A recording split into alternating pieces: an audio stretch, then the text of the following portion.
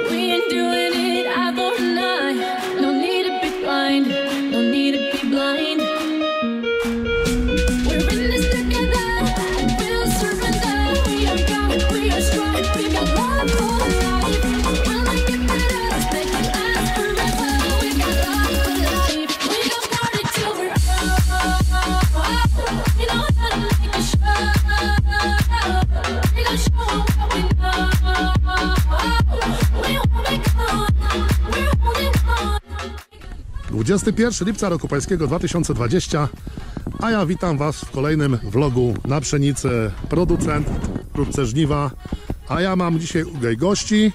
Zobaczcie, nadchodzą trzej królowie.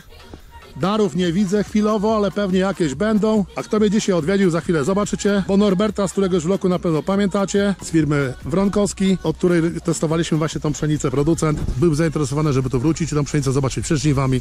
I tak właśnie się dopełniło. Ja z chłopakami zbijam piąteczkę. Cześć Piotrek, siema, Remek. Także teraz chłopaki wam powiedzą, czy dobrze to było zasiane, jak to wygląda. Kto, kto, będzie- kto na pierwszy ogień idzie i mówi o tej pszenicy. Czy dobrze Moim zrobiłem? zdaniem Producent sobie świetnie poradził w tym roku na, na waszym terenie. Widać, że ziarno jest fajnie wykształcone. E, obsada mogła być ciut większa, ale na moje oko e, na tą chwilę jest bardzo fajnie. E, fajnie sobie poradziła z zimą. Tym bardziej, że w cecha i cecha odmianowa też mówi o tym, że jest zima trwała. No i generalnie łan wygląda naprawdę przyzwoicie. Mam nadzieję, że to się sprawdzi później e, W zbiorniku. żniwach na przyczepie, na, na zbiorniku, dokładnie. Ale tak jak właśnie Norbert chciałeś zobaczyć, bo pamiętasz co powiedziałeś, że musimy się spotkać po po kukurydzy, co wtedy? kukurydzy. Przyjedziemy, tu powiedzieliśmy, że przyjedziemy, tu sprawdzimy, podjęliśmy, podjęliśmy rękawice i chcieliśmy sprawdzić, jak to tutaj e, zaplanuje. Mam nadzieję, że sprawdzimy niebawem na, na imprezie, którą Krzysztof... e, Dokładnie i na pewno się spotkamy. no. Ale impreza na 100% będzie organizowana, nie? No czy chyba, że coś tam koronawirus jak naprawdę gdzieś Bóg wie co przeszkodzi, ale plenerowa myślę, że na 99, maseczki i na 99% że będzie. Jakie było klepisko każdy widział. Norbert też widział jak to wszystko się rozwinęło. To jest właśnie bardzo fajne porównanie. To klepisko, ten obraz, który teraz widzimy. Dokładnie. Tam jest ten słup charakterystyczny w środku, gdzie byliście, kto był na imprezie to pamięta. No, Myślę, że- I bardzo żałuję. Ale widzisz, teraz myślę, że temat jest tego rodzaju, że wszyscy jesteście głodni tych e, wystaw polowych i naprawdę stawicie się jeszcze w większym gronie. Dla każdego jak zwykle nic nie zabraknie. W zeszłym roku impreza, impreza była przednia. Tak jest. Nikomu niczego nie brakło, prawda? No, Trzeba sobie zarezerwować przynajmniej ze 3 dni. No w którymś momencie prądu, jak, jak, jak a widzicie, że można, bo chłopaki do mnie mają ile? 450 tutaj? Nie, 230 chyba, 230. To w każdym razie y, jedzie się gdzieś około 3,5 godzin.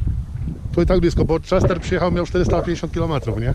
Z, z Przemyśla. I każdy z przyjemnością i z ciekawością przyjeżdża jednak, żeby zobaczyć. Mamy nadzieję, że, że w przyszłym roku, y, jak Pszenica zda, y, zda egzamin, wierzymy w to bardzo, że zda, spróbujemy tu tutaj zasiać, jeżeli Krzysztof będzie miał taką, y, taką wolę, kolejną nowość Staten Union, czyli Przężyto Liborius. Dokładnie. Akurat nie na tym polu, ale zasiejemy. Tu już pójdzie kukurydza w przyszłym roku znów. Może znów poletka? Bo dobre miejsce na poletka. Remek nic nie mówi. Pewnie coś zbroił. Przyznaj się. On się zajada teraz pszenicą. Dla mnie najważniejsze jest e, stanowisko, które tutaj mamy. To nie są gleby żyzne, to są gleby lekkie, gleby w rejonie, gdzie brakuje nam wody w pewnych okresach. Jesteśmy na polu klasy czwartej, nie zapominajmy. Dokładnie. Nie mierzymy tutaj na plon e, 9-10 ton, tylko na, na plon e, względny względem kosztów, jakie ponosimy. To jest gleba lekka, rejon dodatkowo objęty e, okresowymi niedoborami wody. Zobacz, można Dlatego- zobaczyć, jakie ziarno już na tym etapie. Praktycznie ziarno y, za chwilę będzie do koszenia. I ładne, Jak grube tylko- ziarno, czyli widać, że na czwartej klasie B też można. Da się. Dlatego niepotrzebnie dedykujemy tutaj odmianę producenta, odmianę y, Asory na jednym polu i czy inne odmiany. W przyszłym roku, w przyszłym sezonie będzie tutaj siany Liborius. Tu również y, idealnie, Również idealnie, idealnie się wkomponowuje właśnie w takie stanowiska, na takie gleby. No wypróbujemy. Ja, ja ci powiem, że przejedziemy się być może na to pole. Ja wam pokażę, gdzie będę chciał siać Liboriusa i tam są naprawdę mozaiki, też jest słabe pole. Dlatego wcześniej pytałem Norberta, czy jest na słabe gleby. Powiedział, że tak.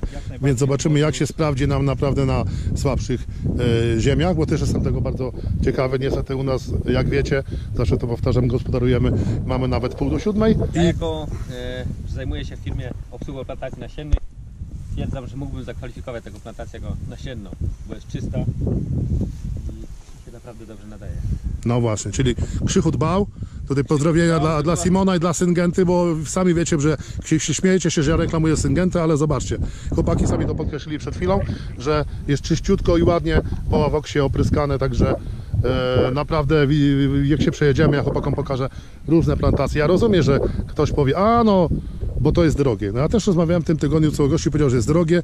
Y, Na przykład opryskał czymś, ma taki głuchy owies, y, że bańka mała, ale mówi, czemu ja nie opryskałem, jak mi w zeszłym roku poleciłeś e, Axial Pack. W zeszłym roku opryskałem, było gitara, 40 zł tylko drożej na hektarze, nie?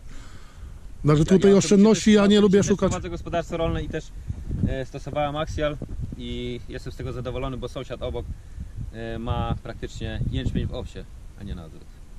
No, a tutaj zobaczcie, nawet wystarczy spojrzeć, zobacz Piotrek tam dalej, przez miedzę, nieważne czyje to tam jest pole.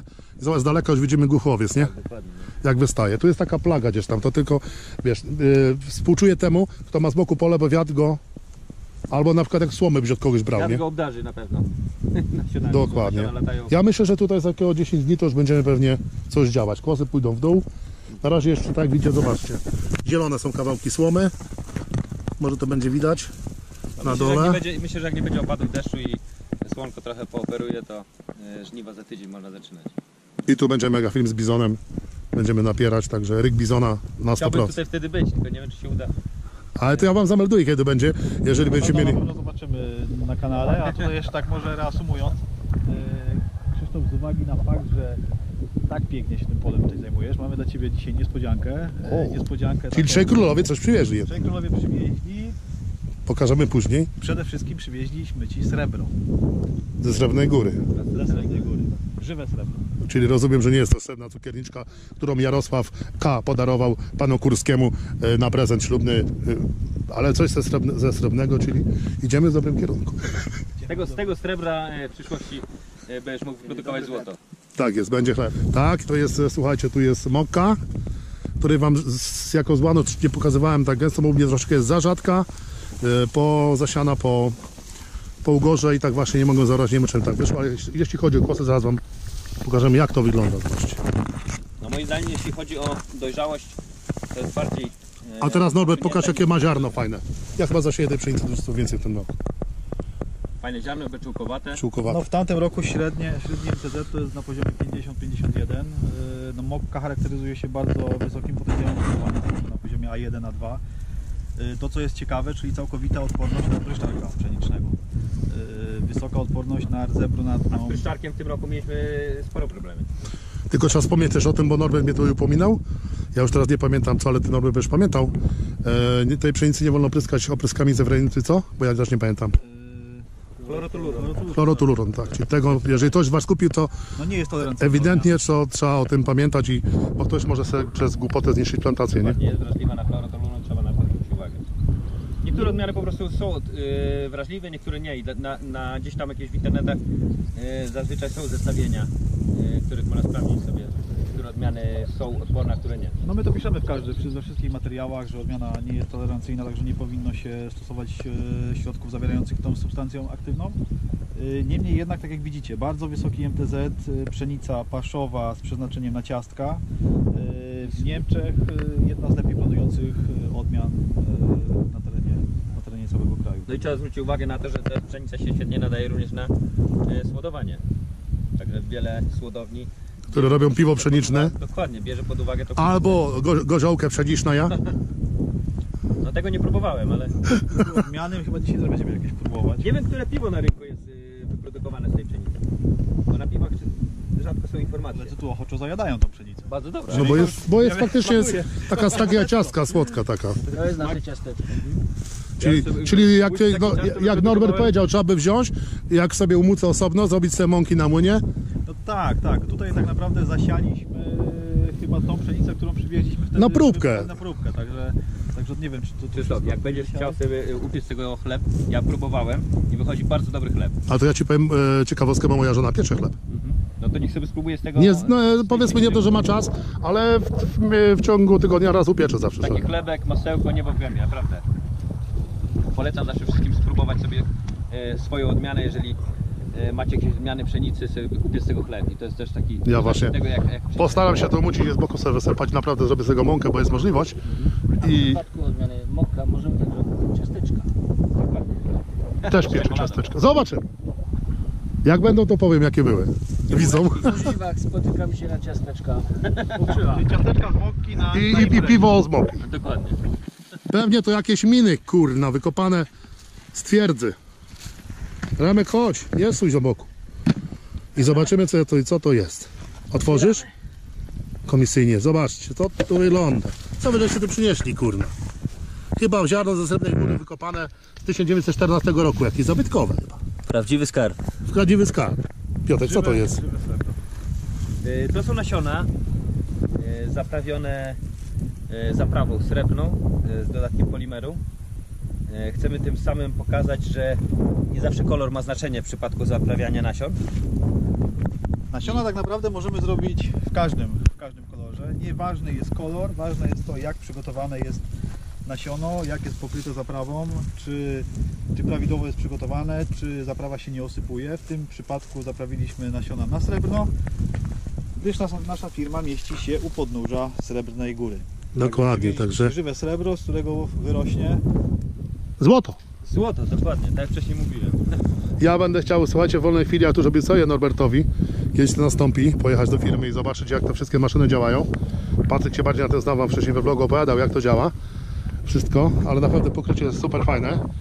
I No i ciekawe to jest to nowość, taka, taka, taka ciekawość. I jakby słuchacie też ze względu na to, kto słucha nas do końca, mamy dla Was niespodziankę. E, przygotowaliśmy. Teraz tak.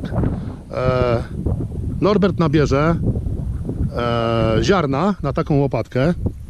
E, pokażę Wam łopatkę. To jest pszenica, to jest pszenica Asory z genem żyta, tak? Tak, Akurat, zaprawiona. I wsypiemy to w foliówkę. Zobaczcie uważnie, ile tego jest na tej łopatce może być, bo chodzi w konkursie o to, żeby, żebyście zgadli, ile nasionek znajduje się na tej łopatce. na tej łopatce. To jest, e, to jest jakby klucz tego konkursu. E, I w komentarzach, jak to ogląda oczywiście film do końca, niech napisze, ile tych ziaren może być. Zaraz Wam nabierzemy, zobaczcie ile. A nagrodą, słuchajcie, e, w tym konkursie, po rozstrzygnięciu, dajemy ile? Dwa tygodnie? Dwa tygodnie będzie taki optymalny. Dwa tygodnie. Norbert wszystko na firmie e, przeliczy. To Wam obiecuję, co do, co do, co do ziarenka. I, laboratorium. I teraz kto będzie najbliżej liczby, jaką, wiadomo, może być nasion, nie wiem, 2000, 2800 czy 251, tak? Wypiszcie w komentarzach, ile tych nasion może być. I teraz tutaj e, nagrodą będzie, zobaczcie, dwa worki. Tu jest akurat na zdjęciu, mamy jeden Limitowanej- wersji pszenicy Asory w kolorze sr- srebrnym Tak do naprawdę wygrania, e, czyli 100 kg tej pszenicy możecie sobie u siebie zasiać, tej pszenicy z genem żyta. E, po dwóch tygodniach, tak jak Wam powiedziałem, jeszcze raz Norbert poda mi wyniki. Lub jak będzie miał Piotrek może czasu, czy Remek. E, podjedzie, wspólnie nagramy, e, poda wyniki, ile tych ziaren było, kto z Was najbliżej będzie tej liczby, najłatwiej trafi, wygrywa, e, wygrywa, słuchajcie, 100 kg pszenicy Asory Tego srebra. żywego srebra z, z zapewnionej tą srebrną e, zaprawą, czyli super konkurs jak na, e, jak na właśnie e, po żniwach, żeby sobie ta- taką pszenicę zasiać. Chciałem, e, chciałem tylko dopowiedzieć, bo, bo, bo Krzysztof o tym nie mówił. E, Co ciekawe, przede wszystkim edycja limitowana tej pszenicy, jakąś ilość wyprodukowaliśmy, jako ciekawostkę chcemy puścić e, i, teren, e, żeby wzbudzić rozmowę na temat tego, że kolor nie ma znaczenia.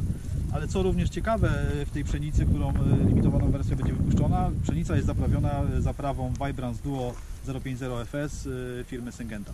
Czyli to jest taką naprawdę to jest petarda, bo wiem, miałem zaprawianą e, tą zaprawą e, na przykład jęczmień hybrydowy, który pamiętacie z poprzednich vlogów. E, jedyna zaprawa, która która zwalcza choroby na przykład w jęczmieniu, a żadne pozostałe nie zwalczają, a nie ma na to środków e, chemicznych, którymi by się udało pewne nam tutaj e, patogeny jakby zgasić, czyli zaprawa też naprawdę mega, mega, e, jeśli chodzi o, e, o samą pszenicę, myślę, że nawet na słabszych ziemiach e, możemy ją pewnie siać, tak? Chłopaki? Tak, tak, tak jak najbardziej. No, bo ona jest genem żyta, także kto wygra, to być może jeszcze dodatkową atrakcją będzie, jeżeli będą mieli chłopaki czas, zawiozą i porozmawiają. Zobaczcie, ile tego może być, zobaczymy. Jarek, liczcie ziarka, Tylko żeby się nic nie wysypało. tak, do, do torebki, I uwaga, bęben maszyny losującej jest pusty, następuje zwolnienie blokady. Ile tego może być? Pokaż może Remek do góry torebkę, zobaczymy, słuchajcie. I teraz, no do, zostanie przeliczona w laboratorium Tak. przy, użyciu, przy użyciu sprzętu. Co do wtedy- ziarna, także kto, kto trafi, będzie wiadomo, że nikt nie trafi w 100%, chyba że. Ale Zbliżą się już do tak, najbliższy wynik będzie po prostu wynikiem wygranym. Tak. Pierwszy najbliższy wynik wynikiem będzie wygranym. No niestety chwilowo, chyba że nagrodą pocieszenia będzie łopatka. Na razie nie planujemy, ale no słuchajcie, no to ciekawa rzecz. I, I też jestem ciekaw u kogo rośnie, jak zaplanuje. Na pewno ta osoba też to wygra nam jakąś tutaj, słuchajcie, nam relację z tego później. To zdawać, może chłopaki pojadą, bo jak obiecali, będą to Wtedy pomyślimy o łopatce. i wtedy pomyślił o opadce. Z Norbertem i z Piotkiem jesteśmy u Piotka. Tak wyszło. że Piotrek zadzwonił, ponieważ zrobił nowy nabytek. Jak wam kiedyś pokazywałem zaczątek tej przyczepy. Przyczepka już jutro jest sprzedawana. Szkoda, że nie wcześniej, pewnie dalibyście wyższe pieniądze, bo naprawdę zrobiona jest kapitalnie. Jak widzicie, słuchajcie, idziemy się z Piotkiem przywitać. Oczywiście nie z tym, bo z tym się witaliśmy. Piotrek! Twoich pokazów część dalszy. Zobaczcie jak przyczepkę zrobił. Trzystronny wywrot. Tak to wygląda. Właśnie kończy stopkę. Przyczepka jutro odjeżdża do nowego właściciela. Wasz ulubiony ciapek turbo, którego dobrze pamiętacie. Nie było czasu nagrać go w pracy. Może gdzieś się się uda. Zobaczcie, Piotrek już stopkę dopasowuje. Pewnie jeszcze na czarno pryśnie do efektu, ale już jest. Dokręcone. To z czegoś przerabiałeś tą stopkę, Piotrek? Nowa kupiona. Nowa tylko dopasowałeś do przyczepy, nie? Tak jest. Leciutko, co chodzi? Zamontowanie. Zobaczymy ją dookoła, słuchajcie, powoli. Zaraz zjeżdżymy na wierzch. No ale zobaczcie, no, ja, bym, ja bym powiedział wam cenę, ale mnie tu właśnie się na razie nie upoważnił, ale na pewno byście mu dali te pieniądze, którą ten nakład pracy, który włożył, tą przyczepę zrobił. Zarejestrowana, jak widzicie, e, wymalowana, jeszcze nie umyta. Właściciel przyjeżdża nowy jutro. Jak myślisz, Piotr, ile tu wejdzie zboża? Ja myślę, że prze... Ja myślę, że pszenicy wejdzie więcej, koło czwórki. No jest 3,60, no 40 cm krótsza jak zwykła 3,5 tonówka. Koło 4 ton z szubkiem powinno może chyba sięgnąć. Stopka nowa zaraz będzie, jak widzicie, zobaczcie. Już tu Piotrek, zobaczcie, spawa.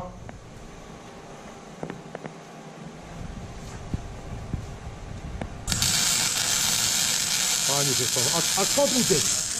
Kot się stwierdzili.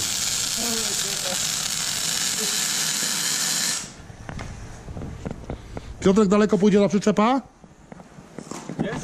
Jest 100 km. O kurczę, 100 km, czyli dużo. Nie będę wchodził na wierzch, tylko nagram go z wierzchu, jak to wygląda. Musicie sami zobaczyć. Jak będą zapytania, ile mogę powiedzieć, ile, za ile została sprzedana, czy nie mogę? Nie ma, to tajemnica. Nie powiem, tajemnica handlowa. Napiszcie, ile byście dali za tą przyczepę. Zarejestrowaną, zrobioną. A ja wam, pow- a ja wam powiem, czy, o, czy dużo mniej, czy dużo więcej. I będziemy mogli na ten temat podyskutować tylko sobie. Może powstać druga. A mo- jeżeli ktoś właśnie zaproponuje mu cenę za identyczną przyczepę nową, taką przyczepę zrobi, napiszcie ile za tą przyczepę dacie e, pieniążków i będziemy rozmawiać dalej. Koteusz ucieka. Panie Koteuszu. Mhm. Jest Koteusz Piotka. Przejdziemy zobaczyć jego maszyny jeszcze raz, słuchajcie. Pewnie jest tam dużo. O, trzy Koteusze, pieseł leci, ja pierdzielę, pieseł chodź. Chodź pieseł, chodź, chodź. Zobaczcie jaki pieseł fajny u Piotrka jest. Co za pieseł. Jaki ty ładny jesteś, tylko nie obsikaj mi nogawki. Będzie gitara. I dwójeczki nie wal. Pieseł. Zobaczcie, jakie fany ma pieseły. Super pieseł. Idziemy do kota, chodź pieseł. Już jakieś nowe konstrukcje, słuchajcie, powstają. Piotrek swoje maszyny tu poustawiał. Już to już będzie coś nowego, widzę, robi. Nie wiem, co to będzie, chyba muszę się zapytać. Rama potężna, czy duże brony jakieś? Yy, chyba zapytamy. Piotrek! Co to będzie ta duża rama? Brony jakieś duże? Duże brony, słuchajcie. A planujesz hydraulicznie rozkładane, tam bo widzę, są uszy. Słuchajcie, już u Piotrka są planowane duże brony hydraulicznie rozkładane, te ciężkie. Zobaczcie, tu są uszy, Piotrek dorobił. I rama już powstaje całkowicie na razie zmienią. Oczywiście taki posłowny, żeby się nic nie urwało. Stworznie. Mm, Pozostałe maszyny kojarzycie. Także bez zbędnych tych ciani się nakręcić tylko tą przyczepę. Na tym mi zależało, przyczepa zostanie to sprzedana. Zdali co następne miały być produkowane po przyczepie i jest tu pod wiatą zarys. O właśnie, tak Piotr wtedy mówił. Zaczynał, ale już zobaczcie, zarys jest. Już zarys naprawdę widzę, jest ciekawy. Jak od- odkryjesz, będzie naprawdę ciekawie. To wam właśnie pokażemy następną blisko już rzecz. Zobaczcie, jakie już jest. Już jesteśmy blisko. Już widzicie, zobaczcie. Wtedy Piotrek pokazał nam tylko talerze. O, zobaczcie, już są całe ramy. Z tyłu jakiś wał oponowy. Przysłonięte jeszcze, ale już prawie widzimy. Wszystkiego naraz nie pokażemy. No opony do silnika na sprzedanie nówki sztuki. Ale to chcesz inne założyć, czy po prostu? Nie, no, nabyłem je, ale na wał mi nie wypalą. A, czyli będą inne. Będą inne. To są można to. Tu to jest i pierwsza część tej maszyny, bo tu jeszcze jest dużo konfiguracji. Tak jest, widzicie, zobaczcie, już jest, już są wały zrobione. Tak samo jak wam pokazałem przyczepę, były za części, przyczepa już jest gotowa. Już macie zaczątek na kolejny film i na kolejną zagwozdkę, co się będzie działo w kolejnym odcinku. Jak tu przyjedzie, Talerzówka talerzówką, ale to będzie trzy w jednym. jak tu przyjedziemy. Nie zdradzajmy wszystkiego, widzowie będą czekać i zobaczą. A to jest najnowszy sprzęt produkcyjny, nie wiem jak go jeszcze nazwać, chyba to jest betoniarka. Na pewno nie, na Zaprawiarka. pewno, na pewno nie, Zaprawiarka. na pewno nie zaprawiarka. Zaprawiarka to się teraz nazywa i wad jest inny. Norbert, wad jest inny. Do, do tych foletowych żusztu ładnie, do tych, do tych ziarnek. Nie, żartuję. Słuchajcie, e, tak się właśnie to w polskim prawie porobiło, że sprzedawali betoniarki jako zaprawiarki i wad był 8%, nie 23%. Nie wiem, jeżeli ktoś kojarzy, czy pamięta. A pieseła już nakręciłem. No pieseł jest niesamowity. Yy, Piesa bierzemy. kudłaty. Bierzemy. E, jak były cztery, Ale to są drogie rzeczy pewnie, nie? tak. Były cztery. Jeden został, przyszedł, przymilił się koteła na nakręciłem. Pieski poszły. Brony hydrauliczne, zobacz, już się robią. Rama już jest, teraz siłowniki. Także jeszcze, słuchajcie, nie będziemy za dużo tutaj... Y, Obiecałem, że nakręcę tę barkę i ten łupak, ale to jak stoi w garażu i będę go kręcił tylko podczas pracy kiedyś. Zobaczcie ostatnie zbliżenia na przyczepę. I tym razem to naprawdę definitywnie ja się z wami żegnam, bo nie może być za długo. Uważam, że jest super.